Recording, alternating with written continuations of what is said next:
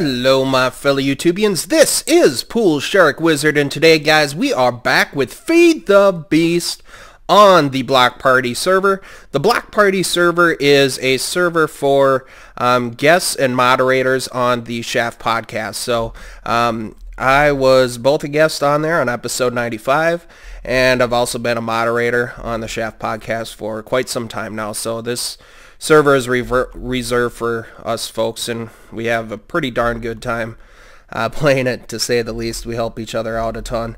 Um, I'd like to start out by um, showing this real quick. I found this out uh, last night while um, Josh SDH was streaming. How, remember last time we did this uh, logging program, edit logging,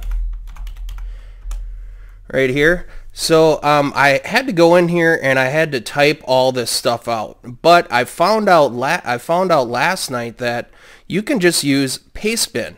If you guys find a code that's on Pastebin and want to use it on your turtle, it is super simple to do. All you basically have to do, and I do have, um, I do have a uh, code set up. So hang on, hang on, quick, guys. I'm gonna go copy the uh, code and see if I can open it up. Hey so guys, we are back and now let's open this up. Let's first uh, exit out of here because we don't need to save it. But uh, this is really cool. Pastebin is um, a web page that's out there that people throw put down um, coding for turtles and uh, computers and that sort of thing. And it's really cool because um, it's super simple to do. All we basically have to do here is if we find a code that we like, you will just um, copy over the, and I can hit Control V here. It, it would look like this, right? So when you're when you're looking at the page that has the code on it, you would just copy the top side, um, the very top web address, right? And this one is actually a really cool strip mining one. So if we go into here and I just backspace all this stuff out of here, getting rid of the actual web address part of it and we just use these the the letters that are at the very back it's super easy to actually install that into your turtle. So the the way that we do it is we go paste bin paste bin type in git.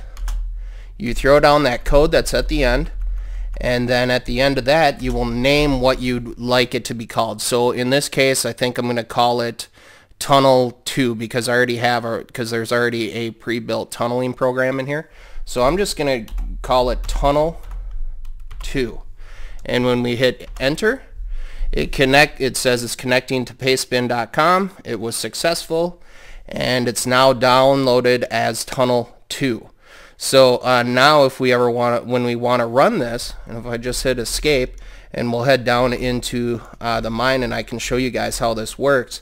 It's a really cool turtle program because it only um, it only does a one wide tunnel, but it also places down torches every 10 blocks. And then it will return back to its original position.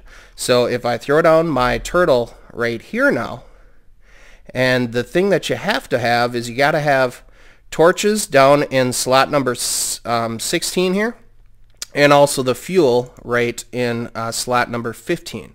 So now if I type in tunnel 2, it's going to ask me the tunnel length, and I'm just going to go 21. Um, and then you guys can see how this works. It just does a one wide tunnel. It will go along, and if there's an open area, open space below it, it will place down a block and once it reaches block 10 like that, it turns around, it places a turtle, and it keeps on going. And then I'm just uh, looking around to make sure I don't have any mobs coming at me. And then once it gets to position 21, um, it will pay, place another torch at 20 right there. Then it moves up, goes back one more, and then it comes all the way back to us. So this program is definitely cool. And instead of writing out the 60, I think it was like 60 lines of code or something like that, it's pretty long. If we do um, edit tunnel two right here, it's quite long. So Luke and Rizard um, did this.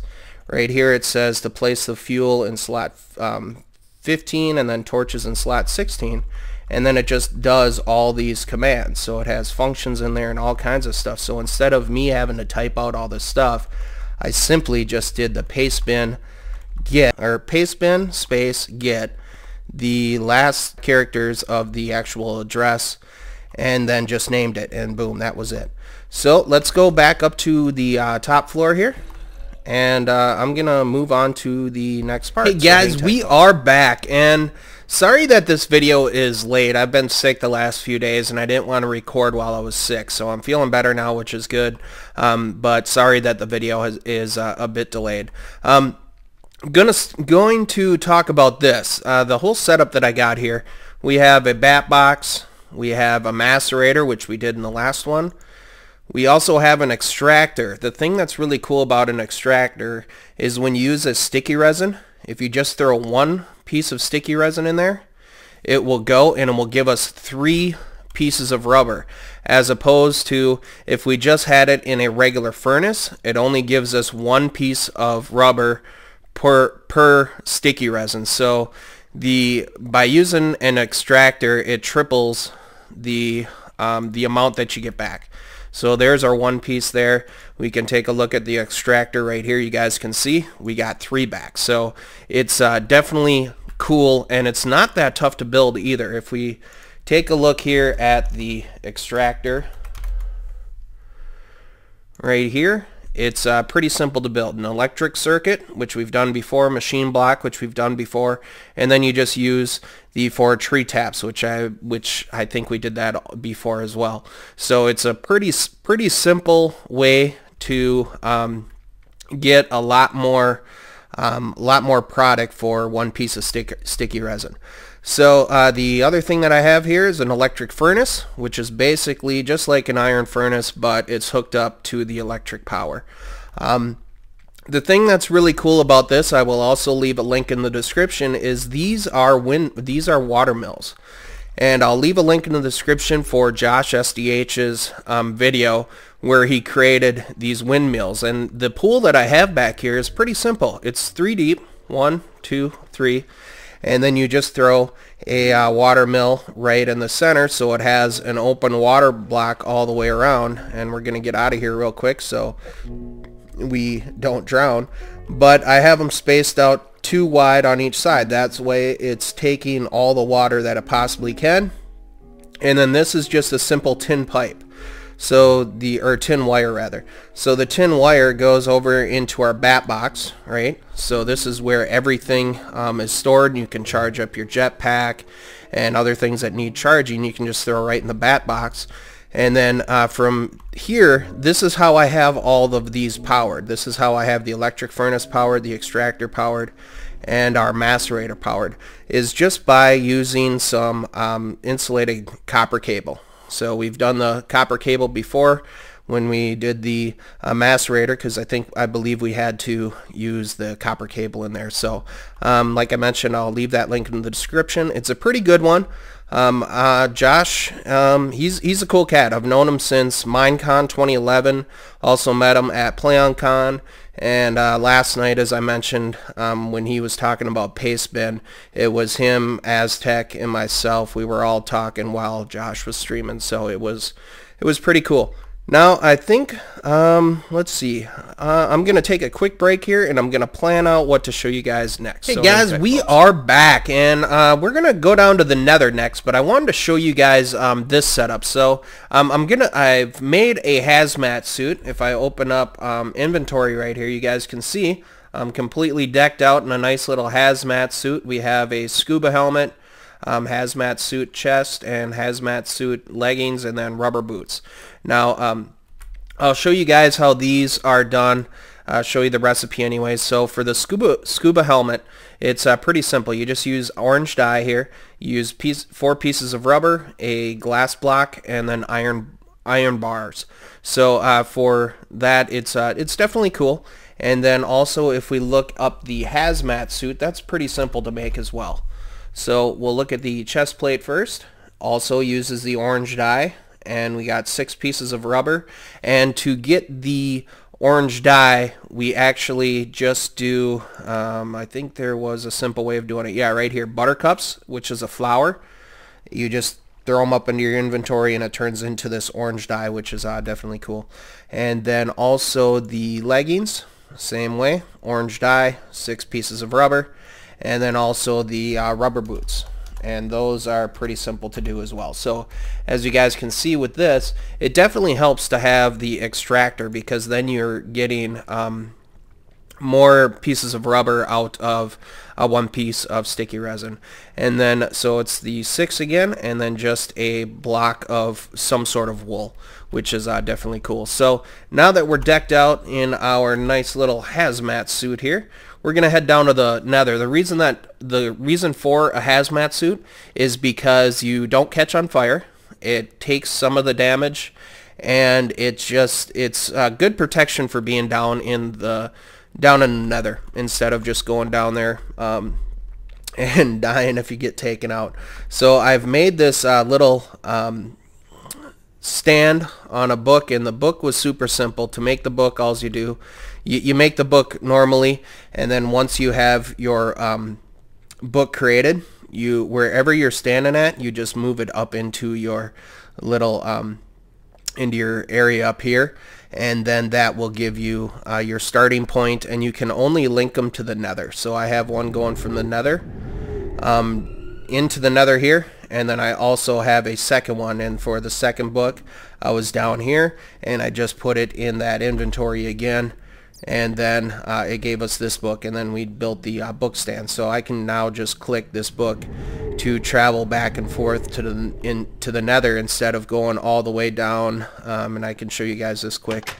Instead of having to go all the way uh, over that way where the actual uh, nether portal is. So um, it, it definitely makes it a lot simpler and a lot faster travel so let's uh, cruise right down there quick.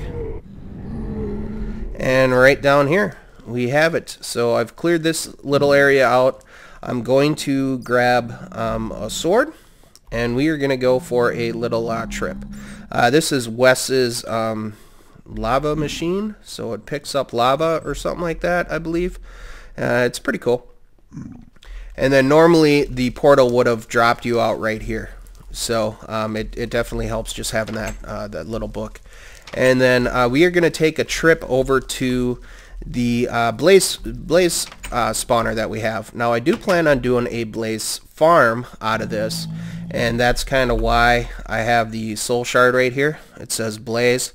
Um, so far I've killed 24 blaze and uh, the thing that's nice about the Vile Sword here, it has that enchantment called Soul Stealer on it. And with the Soul Stealer, uh, when you kill a Blaze, as long as the Soul Shard is down in your hotbar here, uh, and you kill him with the sword, then it will give you five more levels. So if you just kill one, um, it would give you five um, more killed instead of just one killed. So um, that's kind of the idea behind it. And I've kind of made up these arches along the way. Um, this I did not originally find the blaze spawner, somebody else did. Um, but I was looking around and then I made all these cobblestone arches so it leads right to our to the main blaze spawner. So there's two blaze spawners down here. If um, they're not, I don't, they're not next to each other, but if you guys can see on my, um, on my locations right there, uh, we have Blaze, Blaze 2 and Blaze 1. Right now we are heading over to Blaze number 1, I believe. And it should be right back here, which it is.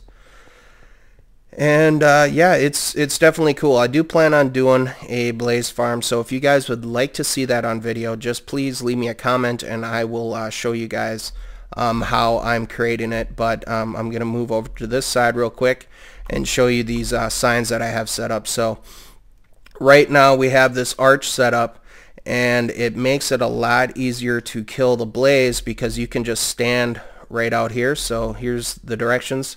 Use bow and arrow, keep gate closed, gate being this. uh, shoot above the gate. When mobs are dead, walk in, collect goodies, XP, close gate. So um, right there you guys can see the blaze spawner. And when the blaze actually spawn, we can just sit here and pick them off with a bow. And then if they try shooting at us, we can just move one side or the other. And because we have our hazmat suit, it definitely helps out. So I'm going to try to collect some blaze right now.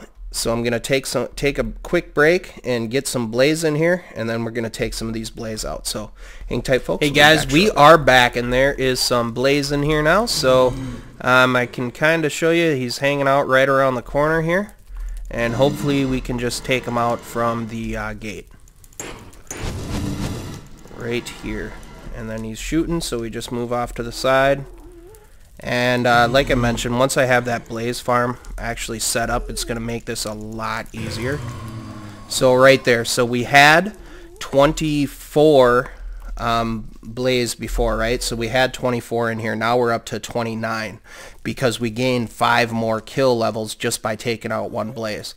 So the next time it's going to be five more, the next time five more, and it just accumulates a heck of a lot quicker than taking out one at a time. So um, that is uh, definitely cool. And because he's hanging out way back there, here he comes.